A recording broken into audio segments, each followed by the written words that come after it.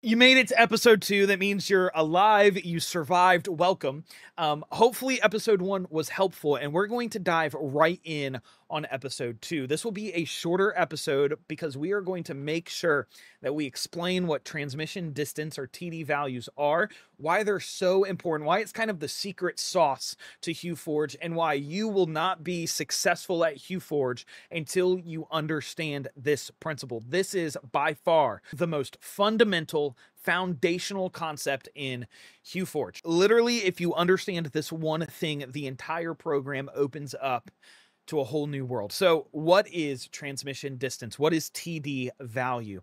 All it is, okay, all TD values are is how far light travels through a filament before it's blocked. Okay, there are more kind of scientific definitions out there. But for the sake of our tutorial, this beginner series, transmission distance is how far light will travel through a filament before it is blocked. Okay let's let's paint this out a little bit. Imagine holding a piece of plastic up to the sun. If it's thin and it's a little opaque or it's a little translucent, the light will shine easily through the plastic, right? You'll be able to see the sun through the plastic. But let's say you hold up a blackout curtain to the sun. The light is not traveling through the blackout curtain. If you have blackout curtains in your room, the reason you hang them up is because you know that light won't travel through the blackout curtain.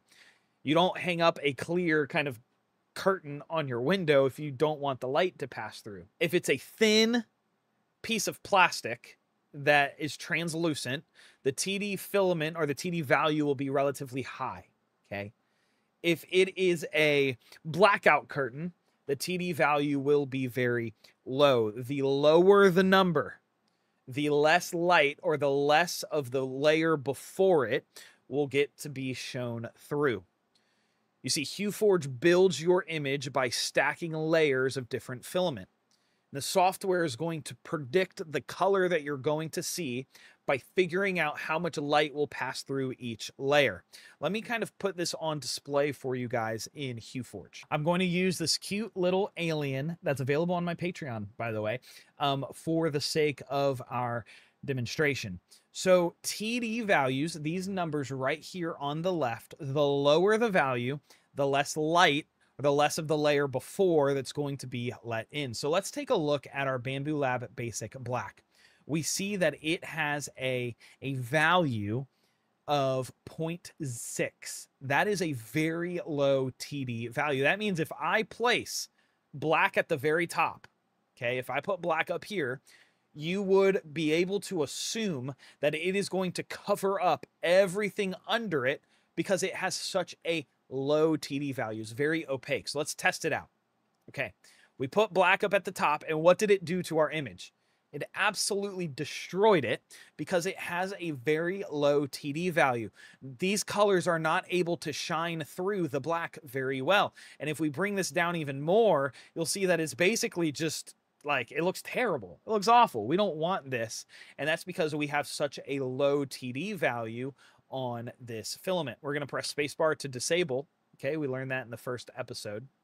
And we're going to bring our layers back to where they were at. Now, if we look at the white that's on top, the reason that this has a different effect on our on our picture here is because it has a TD value of 5, which means it is more translucent than the black. The black is at a 0.6, which means it's going to cover up anything and everything in its path.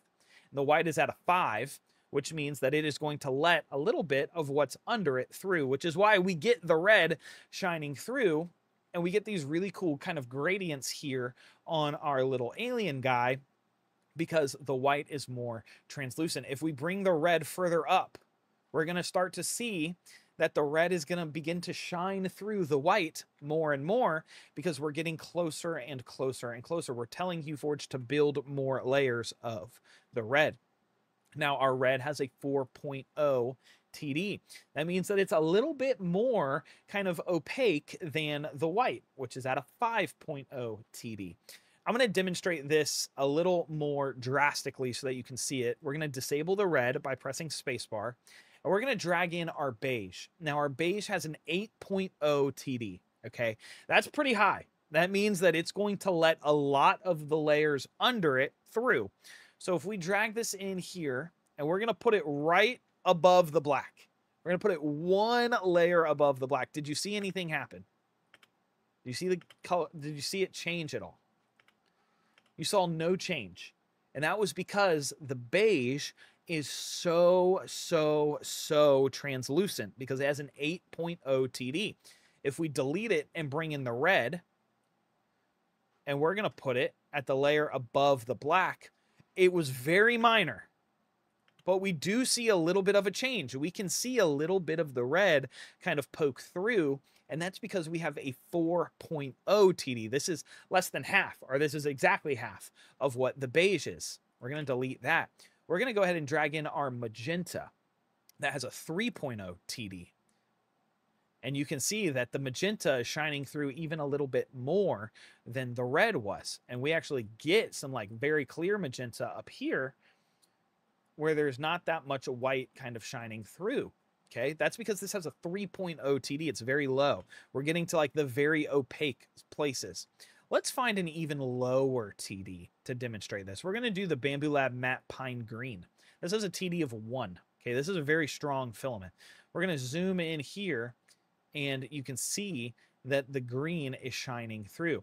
Now, as we bring the green up, okay, you're going to see that this becomes very, very green very, very fast. It quickly overtakes the white, especially in these areas right here, because of how opaque this filament is. So, to recap, transmission distance, the higher the number, the more translucent the filament is. We don't hardly we don't see this beige hardly at all because of how opaque it is. But if we start to bring it up by, you know, a lot, we're going to see that we actually get this kind of really cool blended color with our little alien guy. And that's because it takes a lot of layers of stacking for the TD value to become fully kind of saturated or fully fully marked. You're going to notice something as we start in HueForge, so I might as well go ahead and explain it now as we're talking about TD values. And it's these little parallel lines here on your color core.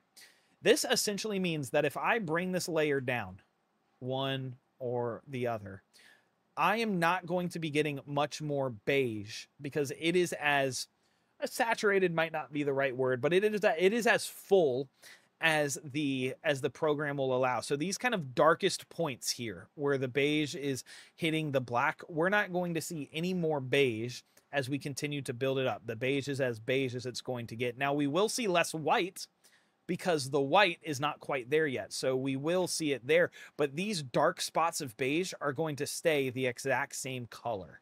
Okay, so like right here is a good example. As I bring this up, these spots right here are staying roughly the same color. You're not getting much change at all. But as we take away white, you're going to see that the white starts to change a lot. All right. And so TD values are the most important thing about HueForge. It is very, very important. If you get your TD values wrong, okay, it, it's going to mess up your your program and that's why marking your own filaments are so so important let's say i have two different grays okay so let's type in gray here we're going to kind of do a little example okay so let's say i have i'm going to pick this Copy Master 3D Turbo Gray. Okay. Actually, I want a darker gray. Let's pick a darker gray. Um, let's do, yeah, like this Overture gray. Okay. I'm going to take beige out. We're going to bring gray up a little bit. Okay, so let's say I'm using this gray right here. Let's say this is the gray that I own. This was the Overture Space Gray. So this is the gray that I own. This is the gray that I have in my in my collection over here. This is the gray that I want to use. But let's say when I'm in HueForge, I actually drag in the Bambu Lab gray, the basic blue gray, and I drag that over. You can see that this changes the image quite a bit. And the preview that I'm getting here is not going to be fully accurate to the result that I'm going to get on my printer, even though they're both gray. Let's play around with purple let's say I have this indigo purple as a 1.1 TD. So this is very opaque. This is very strong, strong color. You can see like this, this color overtakes our white like very, very quickly. You don't get a lot of white shining above the purple. Right. So, and it covers the black very, very well. Um, but let's say, so let's say I'm editing with the 1.1 TD kind of basic indigo purple, but let's say what I actually have in my collection is this 10.0 purple pink translucent by Polylite, and I drag that in. That's going to give me an incredibly different result than what I have kind of on my shelf. And so you want to make sure that you are editing your HueForges with the with the right colors. And this is a, a pretty good example here. We have this polylite purple and then we have this other polylite purple and they're two very different purples. And in standard mode, you might not see a big difference, but as we start playing around with other modes, especially, especially, especially color match, we are going to see that we need as close to the right colors as we have because the TD values are going to change the, the kind of preview that we get. So the most important thing that you need to understand about TD values is the lower the number, the more opaque, the, the stronger the color is going to be, and the less light or the less of the previous layer that it's going to let through. The higher the number, the higher that value, the more of the color that it's going to let through. You can see that when I drag this purple, this is an 18 TD purple, I'm getting more black shining through especially if we disable the white here, I'm getting more black shining through than I would be than if I brought in this light purple. There's almost no black shining through here. This one, we see a lot of black shining through. This one, almost no black shining through. The lower the number, the less of the previous filament that is going to be shown through. This is very, very, very, very important. So you can also add your own TD values. Let's say I have Sunlu is a, actually no, we'll do eSun because I don't think there's any eSun. Okay, so we don't have any eSun. eSun is a very popular filament brand. I don't have any eSun filaments loaded in here. eSun's not pre-loaded by default. Um, Sunlu has a little bit, and you know that's that's great, but this is definitely not all the colors that Sunlu has. You can click new filament, and you will get a little pop-up um, that will allow you to add a filament and you can add your own custom TD values. We're not going to talk about that quite yet. That's pretty advanced, being able to determine what a TD value is of a filament. We're not going to be talking about that in this tutorial, but you do have the option to add your own filament if that's something that you know how to do and want to do. All right, here is your homework. All right, I need you to add three filaments to your color core here and I want you to pick three different kind of TD values. So something with a pretty low TD value, something with a pretty like medium TD value, maybe like a four, and then something with like a very opaque or, or a very translucent TD value, like the beige. I just want you to play around with these settings here, and I want you to to really think deeply about why the colors are doing what they're doing as you're dragging them up and down in your color core here. Why am I getting more beige like this than I am like this, or more black like this than I am like this? I need you guys to really understand what TD values are and how they change um, as you're kind of editing in HueForge. The next tutorial, we are going to talk about um, specifically really diving deep kind of into um, standard mode and how HueForge is looking at your image, um, especially in grayscale. Um, we're going to be playing around with this image over here and why HueForge is making the decisions that it's making and its output over here. But we can't understand that until we fully know and see what TD values are and why they're doing the things that they're doing.